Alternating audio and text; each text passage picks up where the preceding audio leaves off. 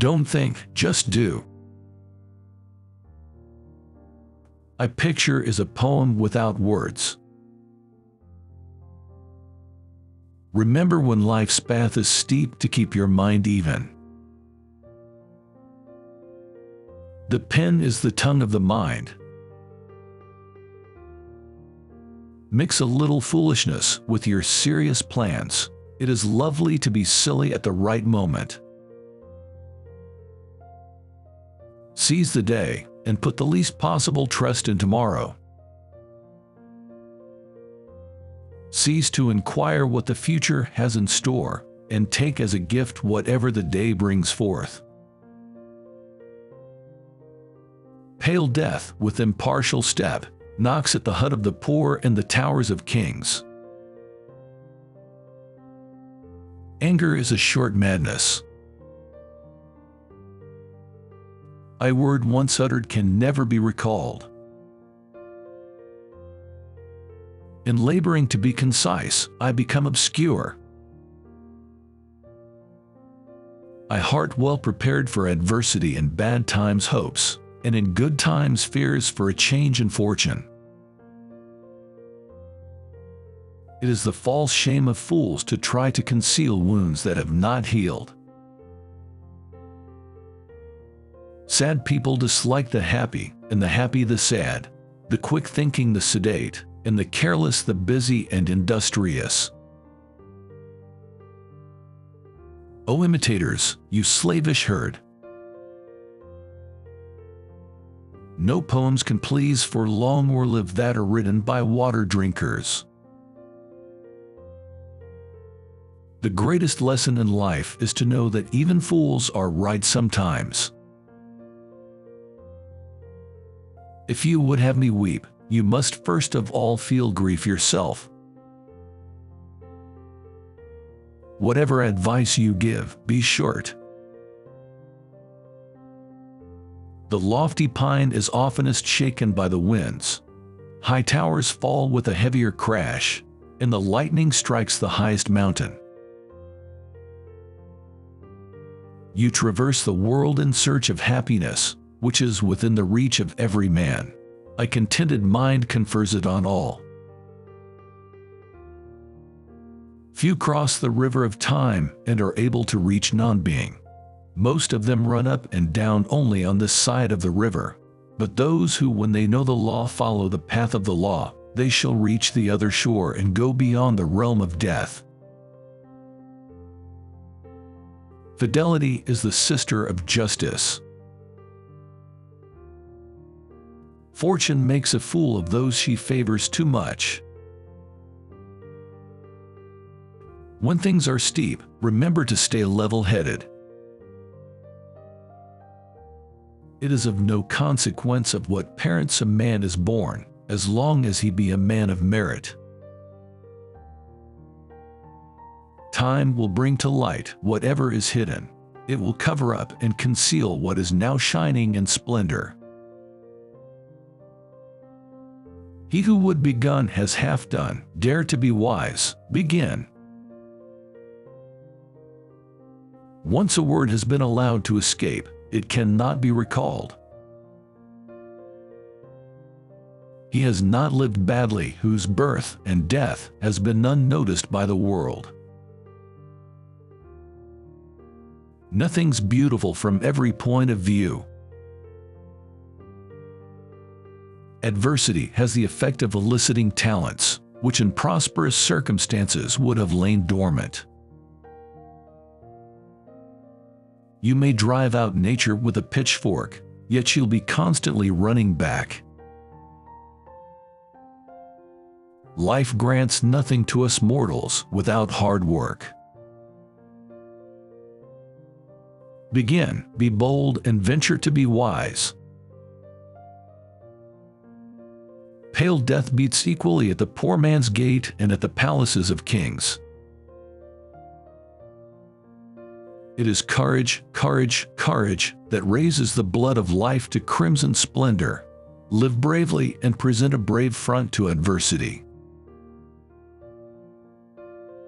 Adversity reveals genius, prosperity conceals it. Wisdom is not wisdom when it is derived from books alone. Undeservedly you will atone for the sins of your fathers. Life is largely a matter of expectation.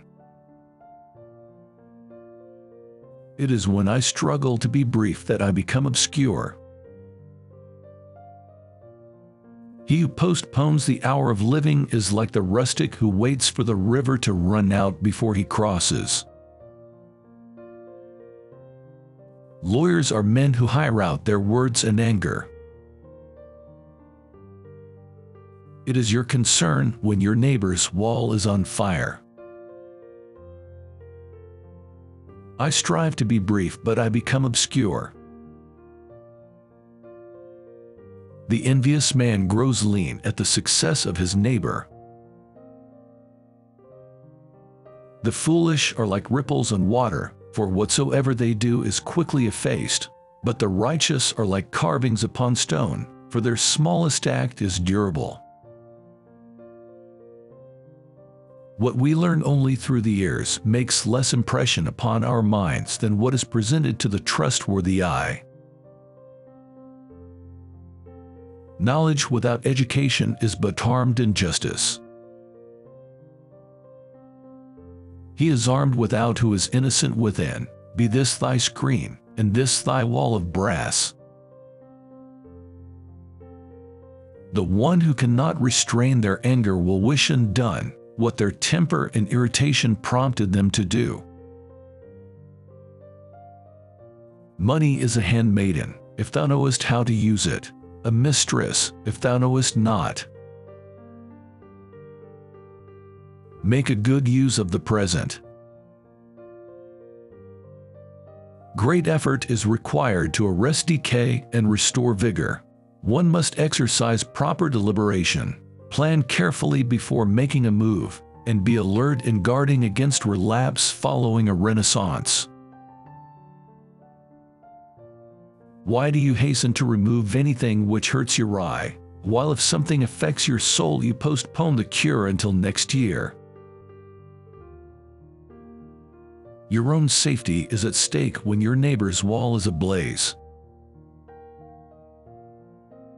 We are just statistics, born to consume resources. Who then is free? The wise man who can command himself. I teach that all men are mad. In adversity, remember to keep an even mind. leave the rest to the gods. Subdue your passion or it will subdue you. It is a sweet and seemly thing to die for one's country.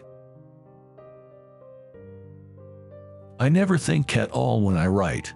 Nobody can do two things at the same time and do them both well.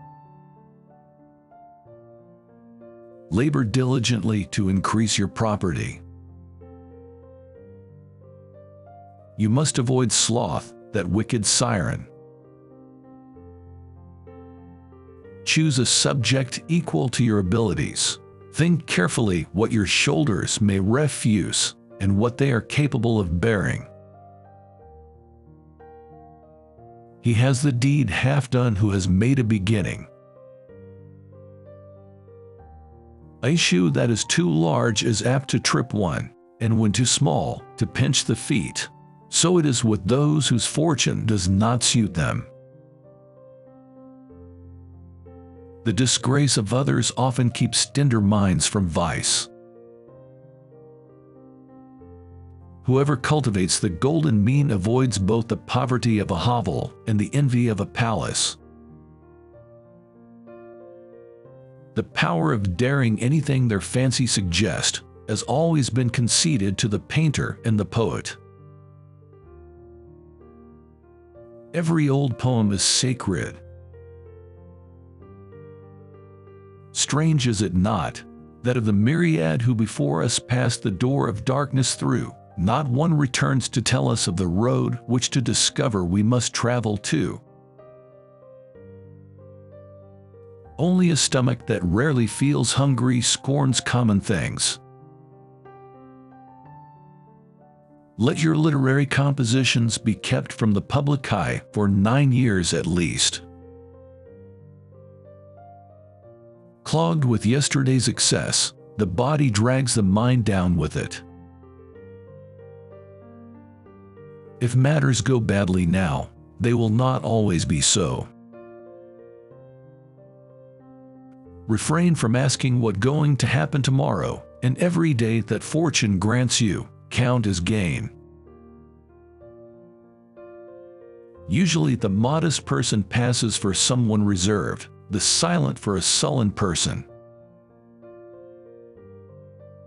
A word, once sent abroad, flies irrevocably. It is your business when the wall next door catches fire. If a man's fortune does not fit him, it is like the shoe in the story. If too large it trips him up, if too small it pinches him. He tosses aside his paint pots and his words a foot and a half long. I hate the irreverent rabble and keep them far from me. Suffering is but another name for the teaching of experience, which is the parent of instruction and the schoolmaster of life. This is a fault common to all singers, that among their friends they will never sing when they are asked. Unasked, they will never desist. It is no great art to say something briefly when, like Tacitus, one has something to say when one has nothing to say, however, and nonetheless writes a whole book and makes truth into a liar that I call an achievement.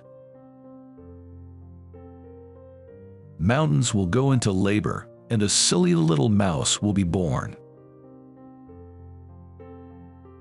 Always keep your composure. You can't score from the penalty box, and to win, you have to score. Avoid inquisitive persons, for they are sure to be gossips. Their ears are open to hear, but they will not keep what is entrusted to them. We are free to yield to truth. We rarely find anyone who can say he has lived a happy life, and who, content with his life, can retire from the world like a satisfied guest. It's a good thing to be foolishly gay once in a while. To have a great man for a friend seems pleasant to those who have never tried it. Those who have fear it. Words will not fail when the matter is well considered. One wanders to the left, another to the right. Both are equally in error but are seduced by different illusions. No verse can give pleasure for long, nor last, that is written by drinkers of water. A host is like a general, calamities often reveal his genius. Poets wish to profit or to please. We are often deterred from crime by the disgrace of others. While fools shun one set of faults, they run into the opposite one. The man is either mad or he is making verses. Why harass with eternal purposes a mind too weak to grasp them? Good sense is both the first principle and the parent source of good writing. A portion of mankind take pride in their vices and pursue their purpose. Many more waver between doing what is right and complying with what is wrong. A good and faithful judge ever prefers the honorable to the expedient. He gains everyone's approval who mixes the pleasant with the useful.